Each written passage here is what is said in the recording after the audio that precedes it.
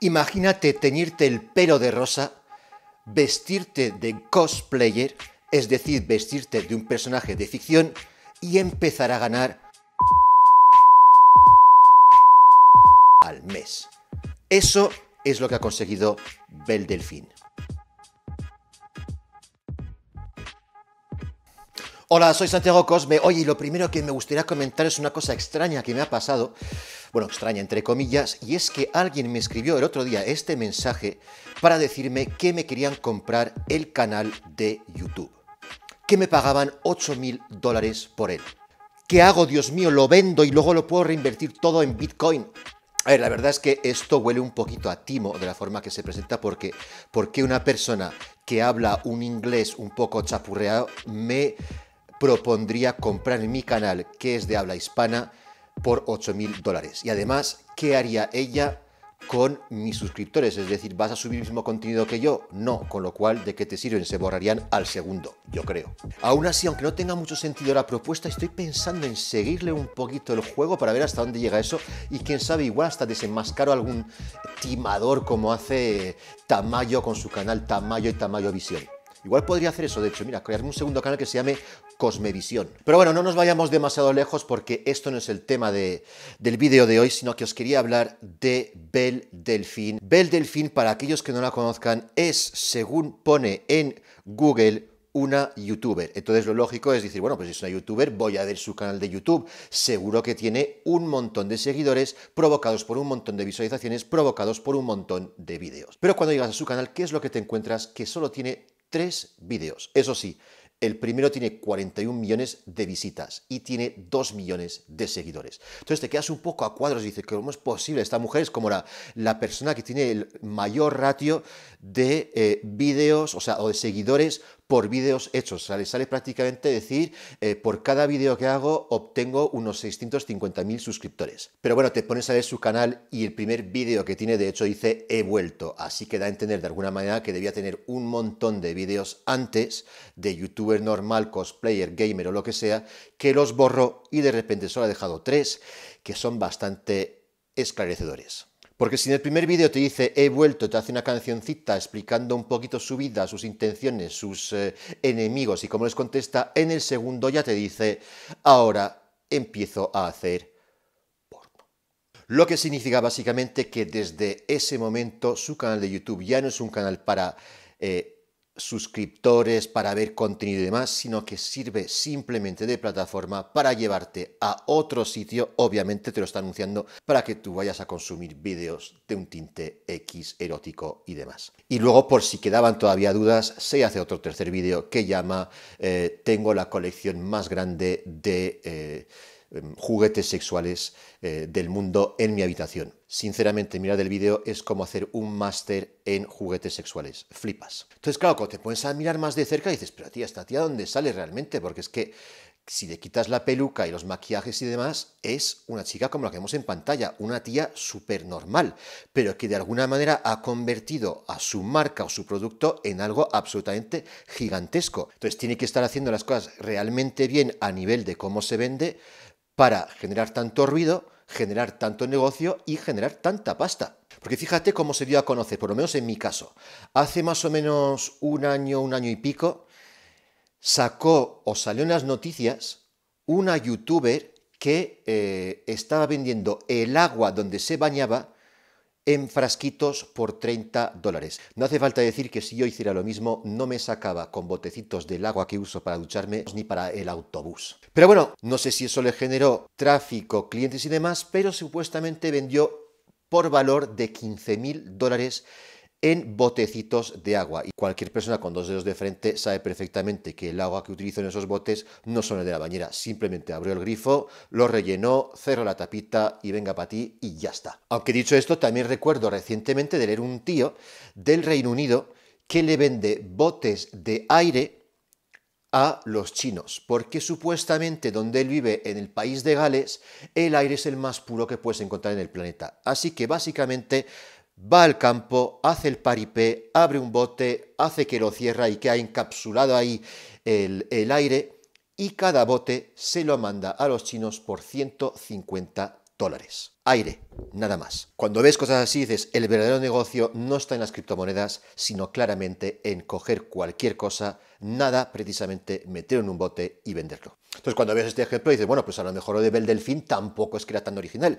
Pero, original o no, hay que reconocer que se ha vendido unos cuantos cientos de botes a 35 dólares, lo que supone más o menos unos 15 mil dólares. No está mal. Y cuando te pones a investigar de verdad, una investigación que hago solamente con el fin de hacer este vídeo y punto, resulta que te topas con cosas bastante curiosas que han dado que hablar de ella y que repercute más tráfico en su página web o en su página de ventas y demás y que al final le generan nuevos clientes y obviamente más dinero. Entonces, ¿qué cosas ha hecho sabiendo que el fin último de Bel Delfín es, sorpresa, sorpresa, llevar a gente a su OnlyFans. Entonces, una cosa que hizo, por ejemplo, bastante inteligente, porque dices, es que cuando lo haga, si no comenta la persona que ella utiliza en el vídeo, es que lo va a comentar algún otro youtuber. ¿A qué me refiero? Un día de repente, así en su habitación eroticona y demás, coge una foto de PewDiePie, el youtuber número uno del mundo,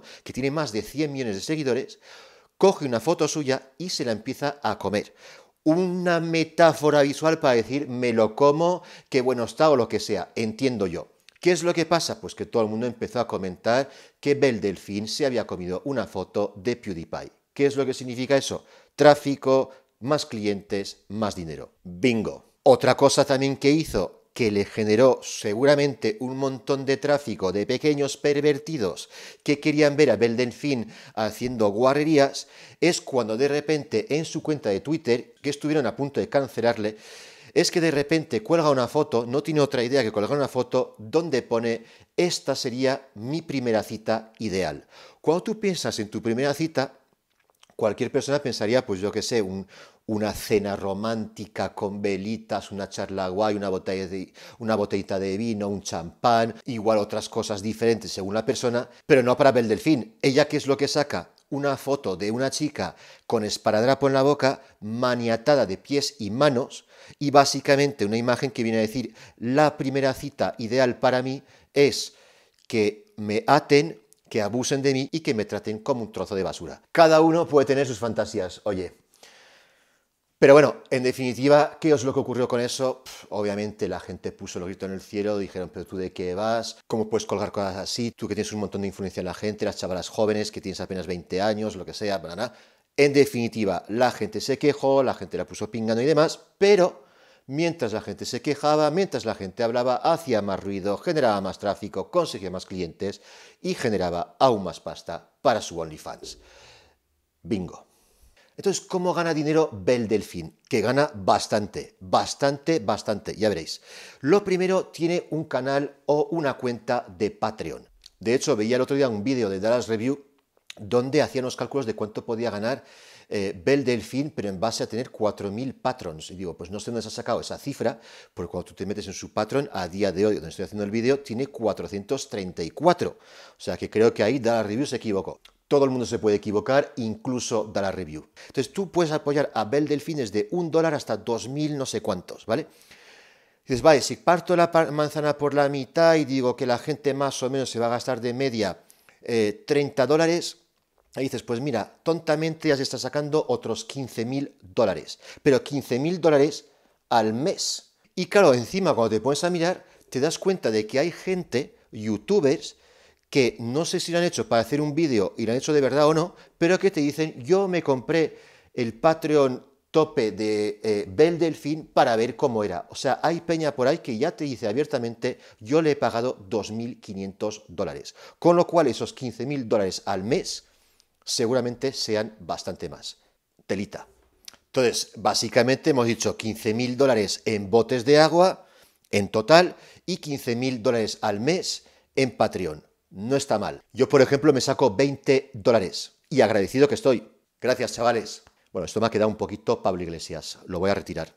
Pero bueno, donde está realmente el kit de la cuestión, donde realmente eh, Bel Delfín se saca su sueldo, su pan, es con OnlyFans, donde tiene o debe tener según dice ya, unas ganancias absolutamente descomunales. Y además es que se ve, porque si te metes en la página sin pagar un duro de su OnlyFans, ya nada más y nada menos que tiene 600.000 likes en sus posts o fotos. Entonces, si tiene 600.000 likes, imagínate la cantidad de gente que está inscrita a su OnlyFans para dar tal cantidad de likes, o sea, una barbaridad. Pero claro, por los likes es difícil estimar y de todos modos tampoco tenemos que hacer demasiados cálculos porque ella misma salió en el podcast de Logan Paul, otro gran youtuber, y en pleno directo, cuando le preguntaron, ella dijo y desveló exactamente lo que ganaba. Y lo que ganaba era bueno, primero darle una pensadita a ver cuánto pensáis que se puede sacar al mes Bel Delfín con su OnlyFans. Y mientras lo pensáis, yo me pego un traguito de agua.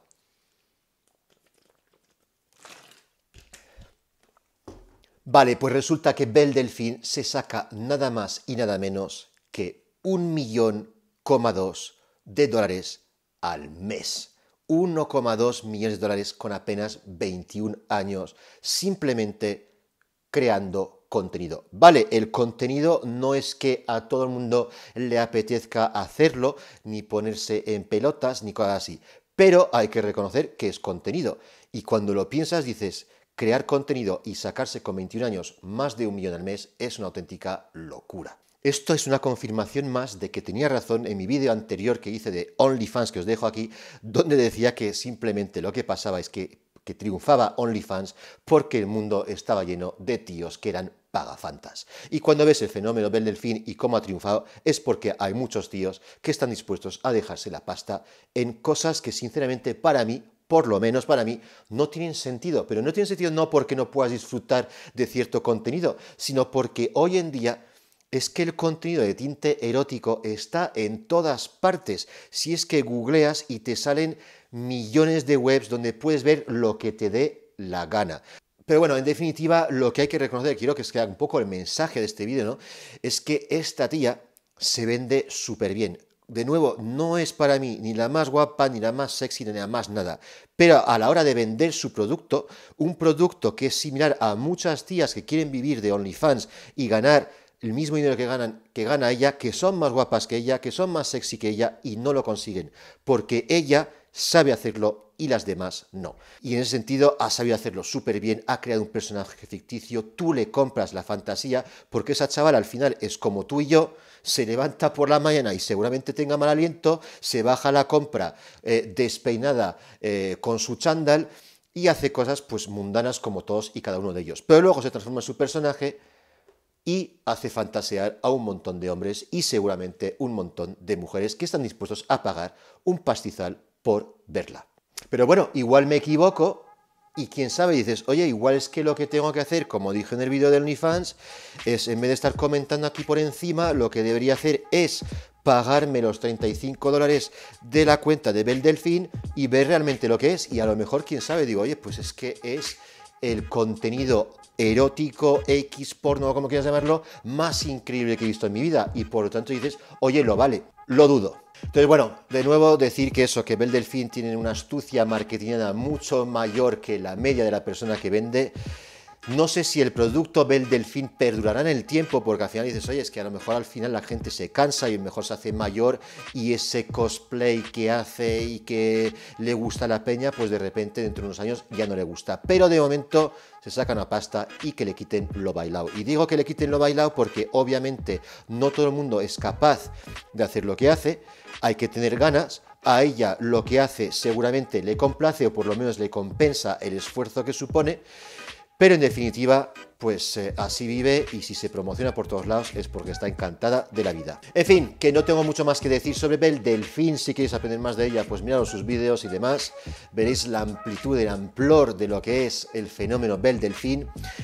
Yo eh, aprovecho para despedirme de vosotros, espero que os haya gustado el vídeo, si es así, dad al like, suscribiros a mi canal si queréis ver más vídeos como este y si lo hacéis, nos veremos aquí muy prontito.